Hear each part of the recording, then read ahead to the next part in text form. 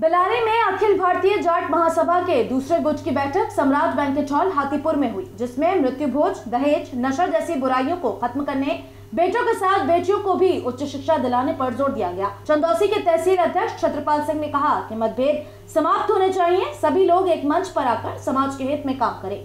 नवैनी उदैया के ओमवीर सिंह ने कहा कि समाज की बैठक गांव-गांव करके बुराइयों को समाप्त करने के लिए कमेटियाँ बनाकर दायित्व सौंपे जाएँ। हरपाल सिंह मलिक ने जोश भरते हुए कहा कि सभी लोग संगठित हों और अपने अधिकारों के लिए संघर्ष करें। अध्यक्ष अजय पाल सिंह एडवोकेट ने कहा कि वह समाज के लिए हर समय तैयार है। अपने पिछले कार्यकाल में जाट समाज के हित में किए गए तमाम कार्यों को गिनाया। बैठक में Ajaypal Singh advocate Harpal Singh Malik, Anil Chaudhary Khanupura Ranvir Singh, Sunil Lathar, Ganpat Singh, Chhatrapal Singh, Nihal Singh Lathar Harpal Singh Lathar Mahavir Singh, Dharmendra Singh, Chaudhary Pratap Singh, Omkar Singh, Rajendra Singh, Chandrapal Singh, Mahendra Singh, Kanchan, doctor Narpat Singh, Kartar Singh Munendra Singh, Rajpal Singh, Vijaypal Singh, Amit Chaudhary, Rajendra Singh, ration dealer union के जिला अध्यक्ष अनिल चौधरी उपस्थित रहे। सम्मानित किए गए प्रधानों में रविंद्र सिंह प्रधान खंडौआ धर्मेंद्र सिंह सनाई भूकन सिंह हंडालपुर, सुनील सिंह लाठर जतपुरा, नितिन चौधरी ऊघनपुर नरेंद्र सिंह नगला कमाल, राजेंद्र सिंह ईंधनपुर नगला धीरेन्द्र सिंह, बघी गोवर्धनपुर, अरविंद चौधरी खनुपुरा,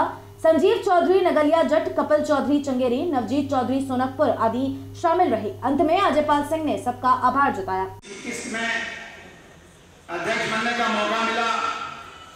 तो मैंने अपने समाज के लिए जो मेरी इच्छाएँ थी, जो मैं अपेक्षा थी कि मैं अपना ये करूँ, वो करूँ, उसमें मेरे दो चार पाँच कार्य हैं। मैं मैं चाहता हूँ कि आप लोगों को मैं बता दूँ क्योंकि आलोचना करने वाली तो दुनिया है लेकिन किसी के काम को बताने वाला कोई नहीं है तो मेरा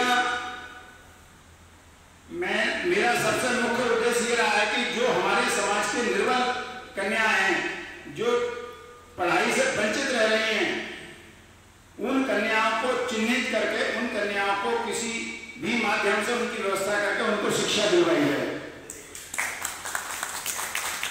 ऐसी दो कन्याएँ को शिक्षा दिलवाई गई, दोनों कन्याएँ देवेंद्र पाल विद्या मंदिर इंटर कॉलेज से पढ़ रही हैं। हमने उनका खर्चा किससे दिलवाया, ये अलग बात हमने अपने समाज से उनकी पूर्ति कराई और वो दोनों कन्याएँ निःशुल्क पढ़ी। उनके परिवार में ये स्थिति नहीं थी कि वो फ़ीस भी दे सकें। अब मैं नाम नहीं खोलूँगा किसी का, क्योंकि एक स्वाभिमान से जुड़ी हुई चीज़ें हैं। अगर किसी का नाम खोला जाए तो आदमी अपने आप में एक गलानी सी महसूस करता है।